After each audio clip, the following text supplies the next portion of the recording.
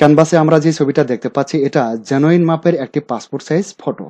তো জেনুইন মাপের একটি পাসপোর্ট সাইজ ছবির জন্য এটার ওয়াইড দিতে হয় পঁয়ত্রিশ মিলিমিটার এবং হাইট দিতে হয় পঁয়তাল্লিশ মিলিমিটার। তো এটা কিন্তু আমার মন গড়া কথা নয়, আপনারা দেখতে পাচ্ছেন এখানে পঁয়ত্রিশ ইন্টু পঁয়তাল্লিশ ইন্টু থ্রি হান্ড্রেড রেজুলেশন তো আমরা কিন্তু ইউটিউবে অনেক ভিডিও দেখতে পাই, যে ভিডিওগুলোর মধ্যে অনেক সিনিয়র ভাইয়েরা তাদের ইচ্ছা মতো ওয়াইট এবং হাইট দিয়ে ছবি তৈরি করে আমাদের দেখিয়ে থাকেন।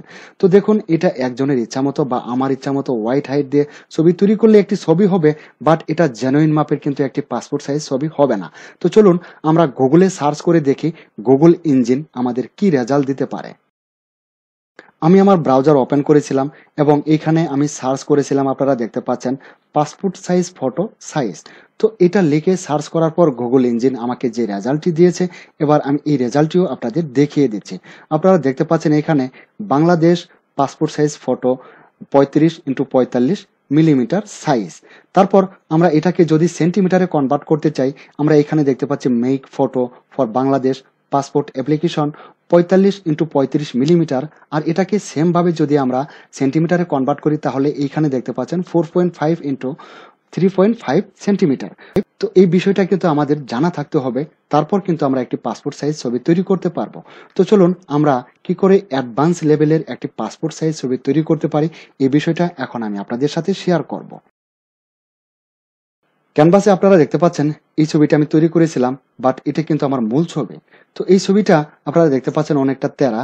তো এই ছবিটাকে যদি আপনি মোবাইল দিয়ে উঠিয়ে থাকেন বা স্ক্যান করে থাকেন, তাহলে কিন্তু অনেক সময় এরকম একটু তেরা বাঁকা হয়ে যায়। আর যদি আমরা ক্যামেরা দিয়ে তোলার পর কোনো ছবিকে কম্পোজ করি সেমভাবে কিন্তু আমরা করতে পারব। তো ধরুন, এই ছবিটাকে আমরা কম্পোজ করার আগে বা ক্রপ করার আগে আমরা প্রথমেই ছবিটাকে সোজা করে নেব। তো ছবিটাকে আমরা কি করে সোজা করব? আপনারা লেয়ার প্যানেলে দেখুন, এখানে কিন্তু আমাদের একটি মাত্র লেয়ার এবং লক করা। এটি আমাদের একটি জেপিজি ফাইল তো এই জেপিজি ফাইলটাকে আমরা একটি মাত্র ক্লিক করে বা সহজে আমরা কি করে? এটাকে একদম রোটেট করে সোজা করতে পারে। তো এবার চলুন আমরা টুল প্যানেলে চলে যাচ্ছি। টুল প্যানেলে আসার পর এখানে আমরা দেখতে পাচ্ছি আইডোপার টুল তো আইডোপার টুলের মধ্যে আমরা মাউসের রাইট ক্লিক করব। মাউসের রাইট ক্লিক করার পর এখানে আমরা এটার আরও সাব তিনটি টুল আমরা দেখতে পাচ্ছি। তো এই যে নিচে আমরা দেখতে পাচ্ছি মেজর টুল আমরা এই মেজর টুলটিকে সিলেক্ট করে নেব। মেজর টুলটি সিলেক্ট করার পর আপনারা দেখতে পাচ্ছেন আমার কিন্তু মেজর টুলটি সিলেক্ট হয়ে গেছে। তো মেজর টুল সিলেক্ট হওয়ার পর আমরা ছবির এই কর্নারে ধরবো। মাউস ড্র্যাগ করে আমরা এই কর্নারে ধরে মাউস কিন্তু ছাড়বো না। এবার এখানে মাউস ড্র্যাগ করুন, তারপর এভাবে ড্র্যাগ করে আপনি একবার এই কর্নারে এনে ছেড়ে দিন। এবার মাউসটাকে আমি ছেড়ে দিলাম। ছেড়ে দেওয়ার পর এবার আমরা যাব মেনু ভারের ইমেজে যে দেখতে পাচ্ছেন এখানে ইমেজ লেখা আছে। আমরা এবার এখান থেকে ইমেজে ক্লিক করে দিচ্ছি। ইমেজে ক্লিক করার পর আমরা নিচে দেখতে পাচ্ছি রোটেট ক্যানভাস তো এই ক্যানভাস রোটেটটাকে আমাদের কিন্তু রোটেট করতে হবে। তো ক্যানভাস রোটেটে মাউস পয়েন্ট রাখার পর এদিকে বেশ কিছু অপশন কিন্তু আমরা দেখতে পাচ্ছি। তার মধ্য থেকে এই যে এখানে দেখতে পাচ্ছেন আরবিটরি এটাতে আমরা ক্লিক করে দেব। এবার এই আরবিটরিতে ক্লিক করে দিন। আরবিটরিতে ক্লিক করার পর আমরা এখানে যে অপশনগুলো দেখতে পাচ্ছি, তো এইখানে আমরা দেখতে পাচ্ছি সি ডাব্লিউ এবং সিসি ডাব্লিউ তো দেখুন, এখানে আমাদের পাকামো করার কোনো দরকার নেই। আপনারা দেখতে পাচ্ছেন এখানে সিসি ডাব্লিউতে কিন্তু চেক মার্ক দেওয়া আছে। দেখতে পাচ্ছেন? এখানে কিন্তু সিসি ডাব্লিউতে চেক মার্ক দেওয়া আছে। সিসি ডাব্লিউতেই চেক মার্ক দেওয়া থাকবে। এবার ওকে বাটনে ক্লিক করে দিন। ওকে বাটনে ক্লিক করলে আমরা দেখতে পাবো ছবিটি কিন্তু একদম স্ট্রেট ফরওয়ার্ড, সোজা হয়ে গেছে। তো এটাই কিন্তু আমাদের কাজ ছিল। এখন আমরা এটাকে ক্রপ করব। তো ক্রপ করার জন্য আমরা টোল প্যানেল থেকে ক্রপ টুলটিকে সিলেক্ট করে নিব। ক্রপ টুলটিকে সিলেক্ট করার পর এবার আমরা এটার হোয়াইট এবং হাইট তারপর রেজুলেশন টাইপ করব। তো প্রিয় শিক্ষার্থী বন্ধুরা, এবার এখানে টাইপ করুন। দেখতে পাচ্ছেন হোয়াইট আমরা দেখেছিলাম, এটার হোয়াইট ছিল পঁয়ত্রিশ মিলিমিটার এবং এটার হাইট ছিল পঁয়তাল্লিশ মিলিমিটার এবং রেজুলেশন থ্রি হান্ড্রেড দেওয়ার পর এখন যদি আমরা ছবিটাকে ক্রপ করি, তাহলে কিন্তু জেনুইন মাপের একটি পাসপোর্ট সাইজ ছবি হিসেবে এটা ক্রপ হয়ে যাবে। তো এবার এটাকে আপনি যে অংশ থেকে ক্রপ করে নিতে চান সেম এভাবেই ক্রপ করুন। এবার press enter button enter button press করার পর আমরা দেখতে পাচ্ছি জেনারেল ম্যাপের একটি ছবি অন্তত ক্রুপড হয়ে গেছে। তো এখন আমরা যদি এই ব্যাকগ্রাউন্ডটাকে চেঞ্জ করতে চাই, তাহলে চেঞ্জ করে নেব। আর যদি ব্যাকগ্রাউন্ডটাকে চেঞ্জ না করতে চাই, তাহলে তো ঠিক আছে, আমাদের আনুষঙ্গিক কাজগুলি করতে হবে। তো যদি ব্যাকগ্রাউন্ডটাকে চেঞ্জ করতে চাই, তাহলে কি করতে হবে? যেহেতু ব্যাকগ্রাউন্ডটি এক কালার সেই ক্ষেত্রে আমরা কিন্তু খুব সহজে ব্যাকগ্রাউন্ডটিকে পরিবর্তন করতে পারব। দেখুন, এইখান থেকে আমরা ম্যাজিক টুলটিকে সিলেক্ট করে নিব। ম্যাজিক টুল সিলেক্ট করার পর কিবোর্ডের শিফট বাটন চেপে ধরে আমরা এখানে ম্যাজিক প্রেস করে দেব। এবার কিবোর্ডের শিফট বাটন চেপে ধরুন এবং এখানে মাউস দ্বারা ক্লিক করতে থাকুন। মাউস দ্বারা ক্লিক করার পর যখন দেখব যে সম্পূর্ণ অংশটুকুই সিলেকশন হয়ে গেছে, তখন আমরা এখানে সামান্য ফেদার প্রোভাইড করব। তো এবার এখানে মাউসের রাইট ক্লিক করুন। মাউসের রাইট ক্লিক করার পর আমরা দেখতে পাচ্ছি ফেদার নামে আরও একটি অপশন আছে। আবার আমরা ফেদারে ক্লিক করে দিলাম। ফেদারে ক্লিক করার পর আমরা ফেদার রেডিয়াসটা একটি পাসপোর্ট সাইজ ছবির জন্য সর্বোচ্চ থ্রি ব্যবহার করতে পারি।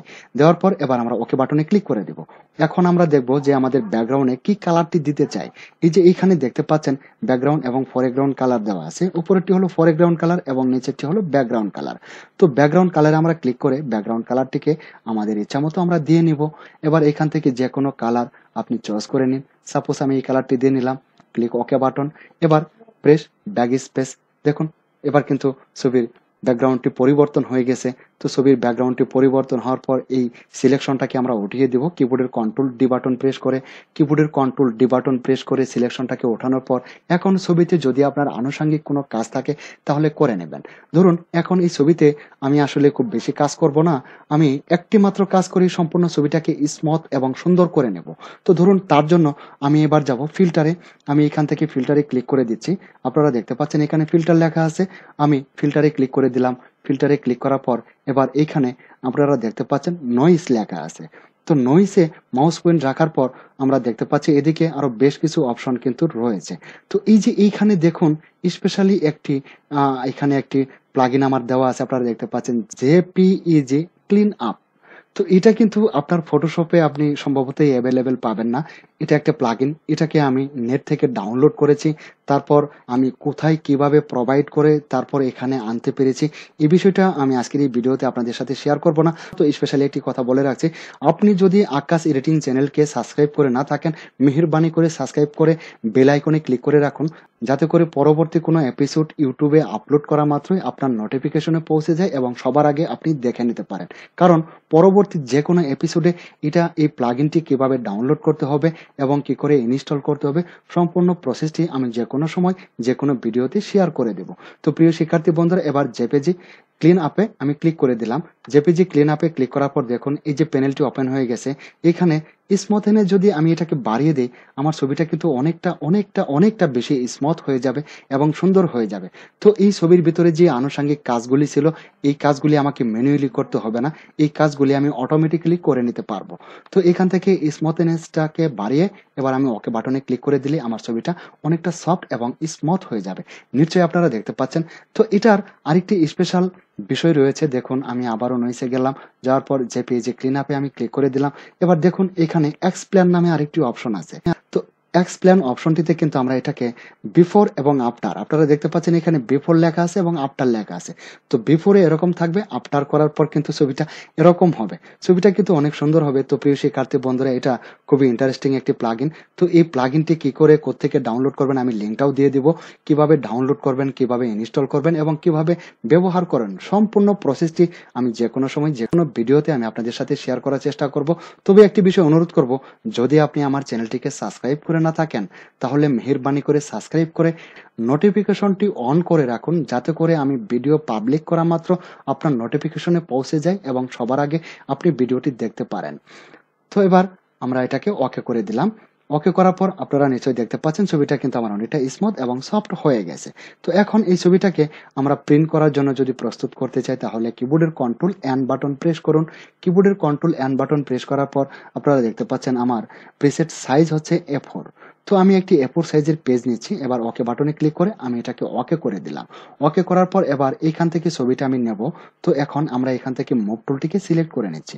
মুভ টুল দ্বারা ছবিটাকে ধরে এফোর সাইজের পেপারে আমরা ছবিটাকে কয় কপি করতে চাই, এটাকে আমরা সাজিয়ে নেব। তো এবার এখান থেকে আমি ছবিটাকে মুভ টুল দ্বারা এখানে বসালাম। তারপর কিবোর্ডের শিফট এবং অল্ট বাটন চেপে ধরে মাউস ড্র্যাগ করে এভাবে টানুন, তাহলে এখান থেকে আরও ছবি বেরিয়ে আসবে। ঠিক এভাবে। এরকম। তো এখন যদি এই ছবিটাকে আমরা প্রিন্ট করতে চাই, যেমন এখানে পাঁচ কপি ছবি আছে ধরুন এই পাঁচ কপি ছবি আমরা প্রিন্ট করব। তো প্রিন্ট করার জন্য আমাদের ফাইলে যেতে হবে, অথবা আমরা কিন্তু শর্টকাটেও করতে পারি কিবোর্ডের কন্ট্রোল পি বাটন প্রেস করে। তো ধরুন আমি একটি বিষয় আপনাদের দেখিয়ে দিচ্ছি। আমরা ফাইলে ক্লিক করে দিলাম। ফাইলে ক্লিক করার পর এখানে দেখতে পাচ্ছেন প্রিন্ট উইথ প্রিভিউ আমরা প্রিন্ট উইথ প্রিভিউ এ ক্লিক করে দেখব ছবিটা কীরকম প্রিন্ট আসতে পারে। এবার প্রিন্ট উইথ প্রিভিউ এ ক্লিক করার পর আমরা দেখতে পাচ্ছি, ছবিটার উপরের দিকে কিছুটা কেটে যাচ্ছে আমরা দেখতে পাচ্ছি। উপরে কিন্তু আসলে খুব একটা স্পেস নেই। এই যে ব্ল্যাক বর্ডারে আমরা দেখতে পাচ্ছি, তো ব্ল্যাক বর্ডারের উপরে কিন্তু খুব একটা স্পেস নেই। তো এই যে এখানে দেখতে পাচ্ছেন স্কেল টু ফিট মিডিয়া এবার এইখানে একটি চেক মার্ক দিয়ে দিন।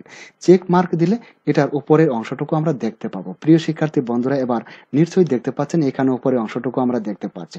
তো প্রিয় শিক্ষার্থী বন্ধুরা, আমি আবারও একটি বিষয় অনুরোধ করব।